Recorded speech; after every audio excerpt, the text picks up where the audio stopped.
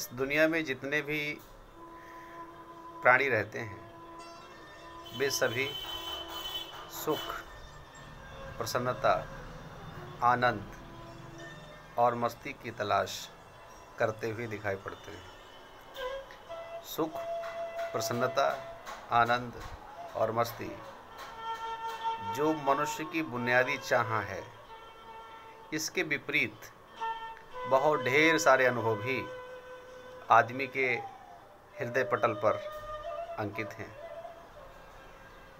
वह प्रसन्नता, आनंद और मस्ती इसीलिए चाह रहा है क्योंकि उसके जीवन में इन सारी चीज़ों का अभाव है।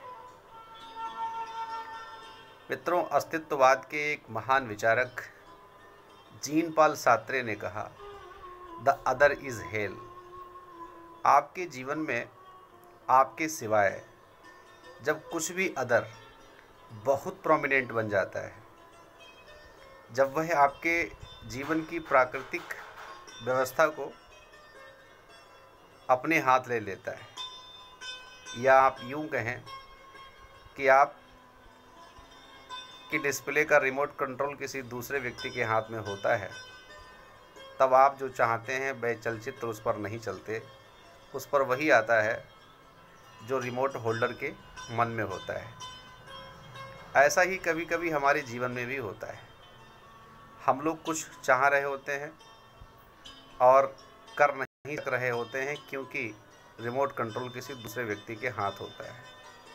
जब ऐसी परिस्थिति पैदा होती है तो निसंदेह हमारे जीवन में दुख, कष्ट, मुसीबत, कलह, परेशानियाँ डिसअपॉइंटेडनेस होपलेसनेस और न जाने कितने नेगेटिव फॉर्म्स बन करके तैयार हो जाते हैं।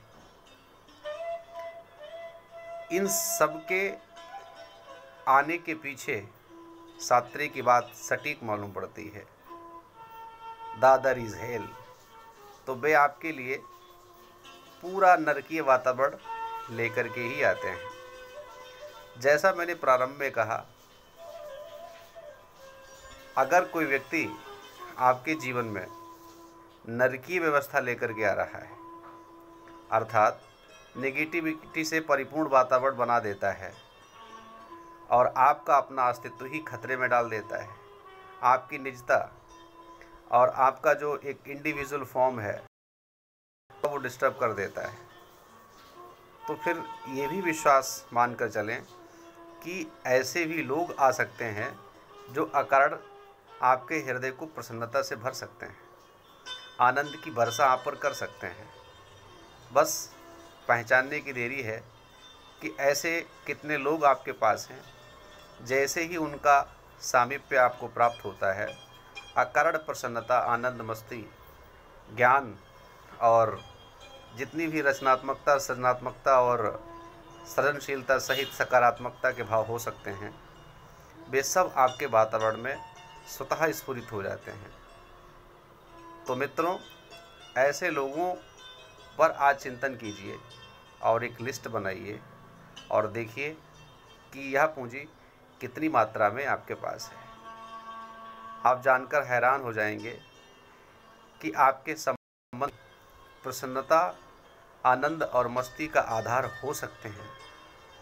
बशर्ते उनकी बुनियाद सकारात्मकता पर अटूट और दृढ़ विश्वास जैसे महान मूल्यों के आधार पर हुई हो, तब वे आपको चीज़ें आसानी से प्राप्त हो सकती हैं।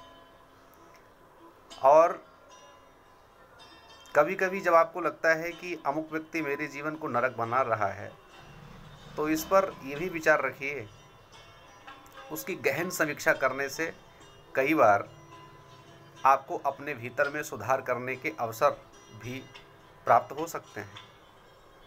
तो टोटल नेगेटिविटी या अपनी आलोचना या ऐसी किसी भी प्रतिक्रिया को जिसे सुनकर आप बहुत जल्द इरिटेट फील करते हैं, बहुत इमीडिएट उस पर रिस्पॉन्स मत कीजिए। कुछ समय लीजिए और उस पर चिंतन कीजिए और चिंतन के उपरांत ही उस पर अपनी एक सटीक समीक्षा करने के बाद ही रिस्पॉन्सिव एक्टिविटी को फर्दर परफॉर्म करें।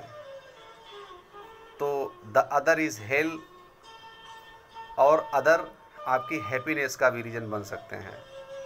तो ये दोनों परिस्थितियाँ आपके आसपास निरंतर चलती हैं।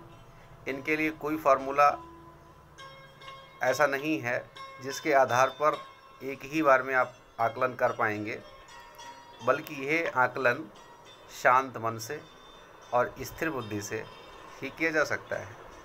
इसलिए इस सूत्र पर भी काम कीजिए और जीवन की इस यात्रा का आनंद लेते चलिए।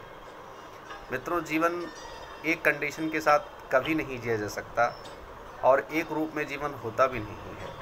आपको पता है कि प्रकृति में कितने अनंत रंग, रूप, आकार, प्रकार सब भरे हुए हैं। इसी प्रकार से हमारा जीवन सदा इसी गति से चलता है। तो इसी गति के साथ, महागति के साथ मिलने के कुछ प्रयास करते हैं और आनंद भरे जीवन की सौगात ईश्वर हम सबको प्रदान करे। इसी कामना के साथ आप सबको पुनः नमस्कार। धन्यवाद।